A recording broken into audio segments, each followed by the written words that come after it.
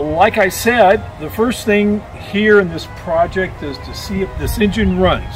And that's what, uh, what's what we're gonna do here today, is to see if this thing will start.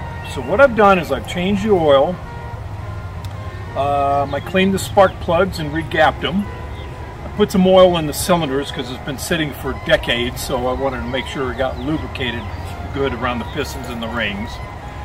Um, I replaced the cap, looked a little bit too corroded. I cleaned the contacts on the body, distributor body. Um, I put a new 6 volt battery into it. Uh, what else? brand new radiator cap. I filled water that was totally empty and it's holding water, so that's a good thing. Um, and then the uh, carburetor, what I did was I got uh, gaskets and just, I didn't rebuild the whole carburetor, I just replaced the gaskets because when I turned it on the other day, it just flowed out. So needed to replace those dried out paper gaskets. Anyway, so I think it's ready to start. So I'm going to get in here. I hope it don't blow up the place and blow me up, but I'm going to get in here right now for the very first time after acquiring this thing and let's see what it starts. So keep the camera growing, going. I'm not going to edit anything here. I want this to be for, for real. All right, let's see what happens here.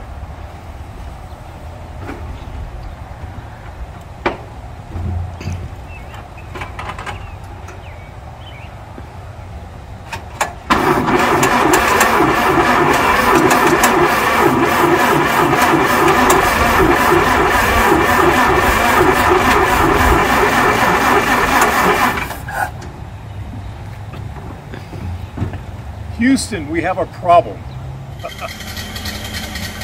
well, it's running.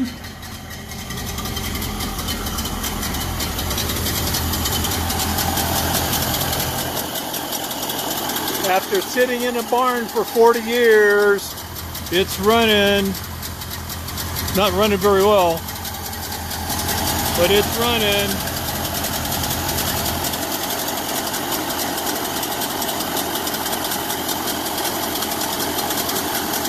Sounds like, uh, I'm not sure. There's a lot of oil coming out the back, a lot of smoke coming out the back.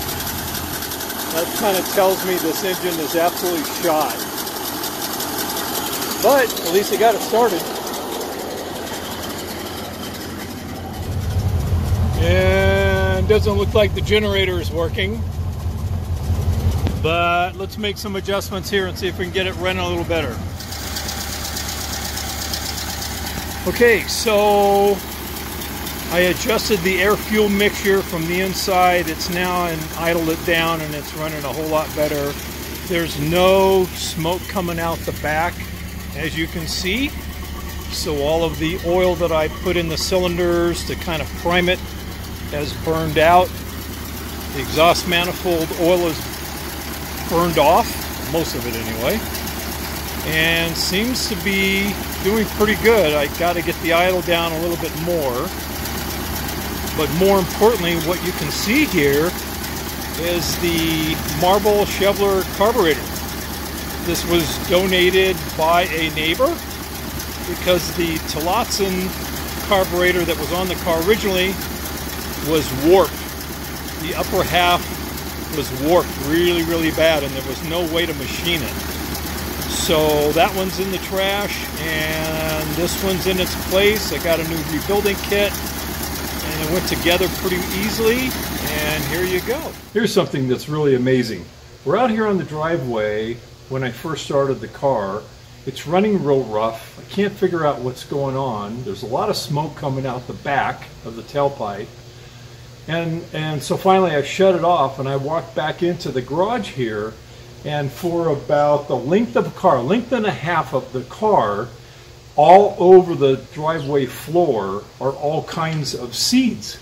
And I'm going around and I'm, I'm there must have been a two or three hundred of these things that I ended up having to sweep up. But basically it looks like over the time that it was in the barn for 30 or 40 years, I don't know the exact amount of time, there must have been some kind of mouse or rat or some kind of ground squirrel, not ground squirrel, that had made a home in the muffler.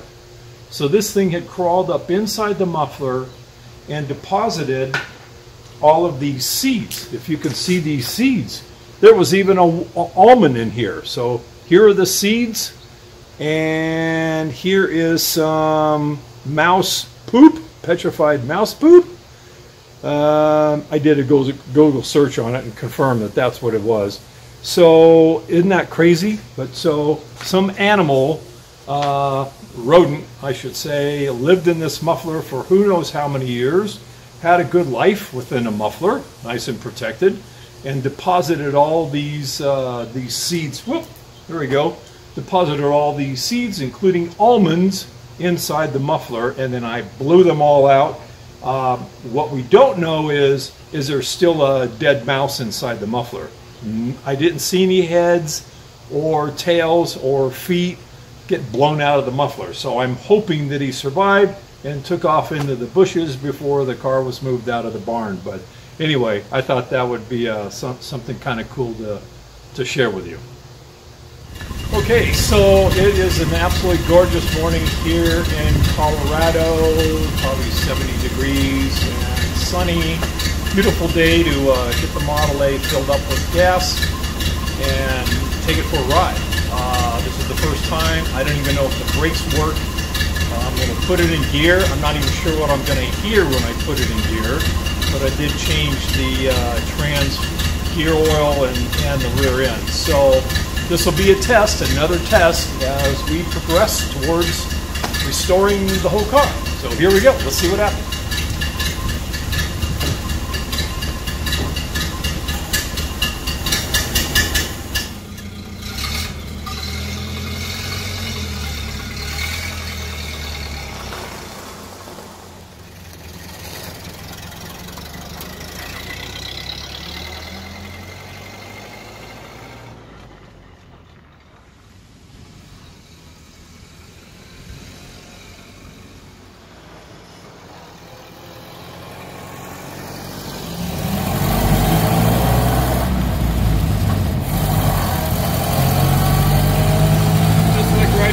Yep, never forget.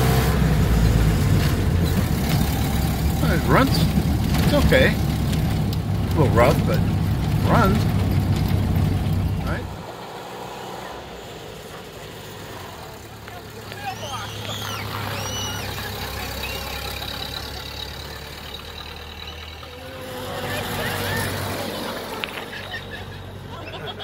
Well, first impressions of driving the Model A after getting it running again.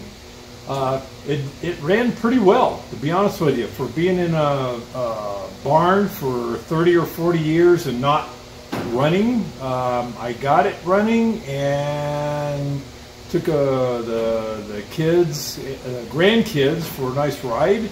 Uh, they almost crashed the car a couple times, but that's beside the point. But in terms of uh, the, the, the, transmission shifted perfect. Um, I heard no grinding in the rear end. The uh, one problem is the rear main seal is shot and it poured out oil like crazy, which is uh, typical of these motors. But uh, overall, not too bad. So at this point, it's disassembly. Uh, you know, everything comes off, motor comes out, and we'll be taking it in to get rebuilt uh, and modern, quote unquote, modernizing the, the motor with uh, inserted bearings and adjustable lifters and uh, even a 6.5 compression head, which will be cool. So crank will be redone, a whole it, will be upgraded, so it'll be really nice to drive around.